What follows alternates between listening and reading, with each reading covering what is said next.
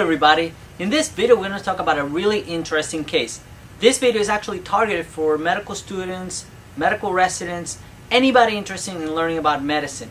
Not really for the average patient video, unless you really like to learn about medicine and things like that.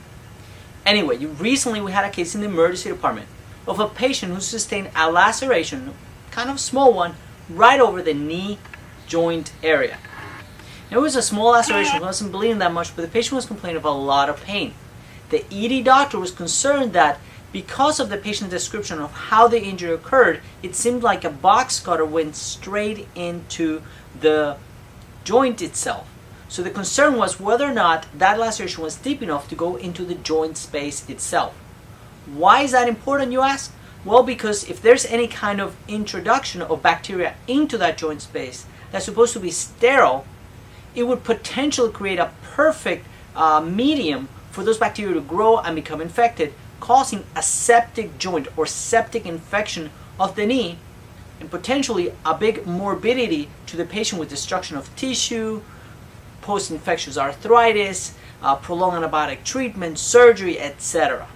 So how do we figure out whether or not there's actually involvement of the joint or uh, any kind of penetration into that tissue? First thing the doctor did was perform an x-ray and actually proved the right thing. Let me first show you what a normal x-ray of the knee looks like. As you can see on this x-ray, the area in between the bones looks nice and clear.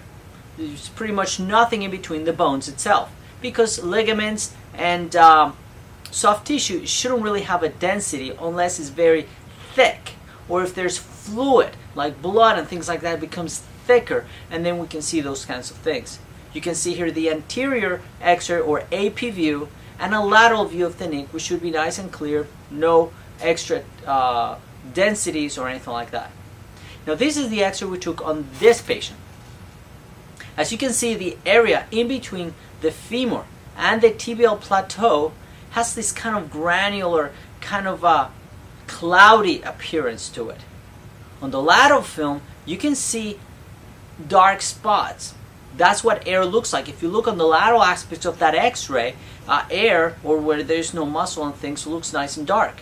So nice and dark areas inside of an area that should have some density is concerning for air.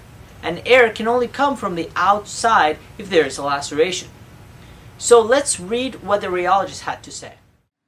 AP lateral oblique views of the left knee demonstrate abnormal intra-articular gas in the suprapatellar region, medial compartment, and to a lesser extent the lateral compartment as well as the popliteal region of the joint space.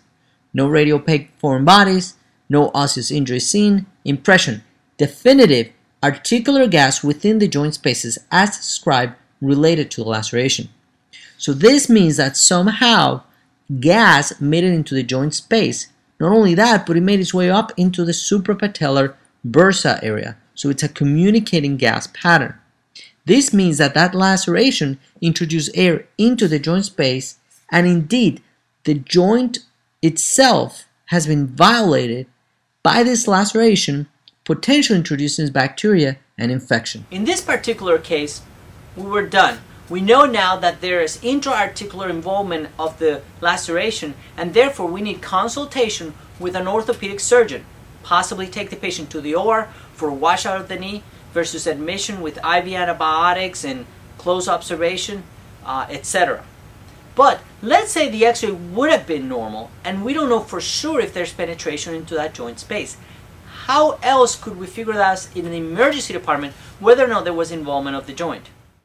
Please stay tuned for the second part of this video where we'll discuss the medical components of the adequate diagnosis of intra-articular joint involvement when there's lacerations or trauma to a particular joint space.